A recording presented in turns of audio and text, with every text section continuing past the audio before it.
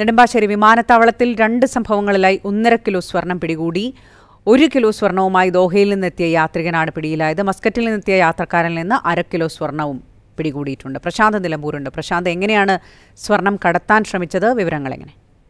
നിമി ശരീരത്തിൽ ഒളിപ്പിച്ചാണ് രണ്ടുപേരും സ്വർണം കൊണ്ടുവന്നത്. നെടുമ്പാശ്ശേരിയിൽ ആദ്യം ഒരു യാത്രക്കാരിൽ നിന്നും അര കിലോ സ്വർണം പിടികൂടി. ഇയാൾ ശരീരത്തിൽ ഒളിപ്പിച്ച് സ്വർണം കൊണ്ടുവന്നു. മസ്കറ്റിൽ നിന്ന് വന്ന യാത്രക്കാരനായിരുന്നു ഇയാൾ. ഇയാൾ ഇത് കസ്റ്റംസ് പിടികൂടിയതിന് പിന്നാലെ ഒരു മണിക്കൂറിന് ശേഷമാണ് ദോഹയിൽ നിന്നെത്തിയ ഒരു യാത്രക്കാരിൽ നിന്നും ഒരു കിലോ സ്വർണം പിടികൂടിയത്. അതായത് അൻപത് ലക്ഷം രൂപ വില വരുന്ന ഒരു കിലോ സ്വർണവും അതിനു മുമ്പ് ഇരുപത്തിരണ്ട് ലക്ഷം രൂപ വരുന്ന അര കിലോ സ്വർണവും അങ്ങനെ ഏതാണ്ട് മുക്കാൽ കോടിയോളം രൂപയുടെ സ്വർണമാണ് നെടുമ്പാശ്ശേരി വിമാനത്താവളം വഴി ഇന്ന് രണ്ട് യാത്രക്കാർ കടത്താൻ ശ്രമിച്ചത്. കസ്റ്റംസിന്റെ പരിശോധനയിലാണ് രണ്ടുപേരും പിടിയിലായിട്ടുള്ളത്. അടുത്തിടെ നെടുമ്പാശ്ശേരി വിമാനത്താവളം കേന്ദ്രീകരിച്ച് സ്വർണ കള്ളക്കടത്ത് മാഫിയ ശക്തമായിട്ടുണ്ട്. നിരവധി സംഭവങ്ങളിലായി കിലോ കണക്കിന് സ്വർണമാണ് നെടുമ്പാശ്ശേരി വഴി ഈ സംഘം കടത്തിയിട്ടുള്ളത്. ഈ സംഘം ഇവർ കാരിയർമാരാണ്. ഇവരുമായി ബന്ധപ്പെട്ട് കൂടുതൽ അന്വേഷിക്കേണ്ടതുണ്ട് എന്നുള്ളത് കസ്റ്റംസ് പറയുന്നുണ്ട്. അതുകൊണ്ട് ഈ രണ്ട് യാത്രികരുടെയും പേര് വിവരങ്ങൾ പുറത്തുവിട്ടിട്ടില്ല.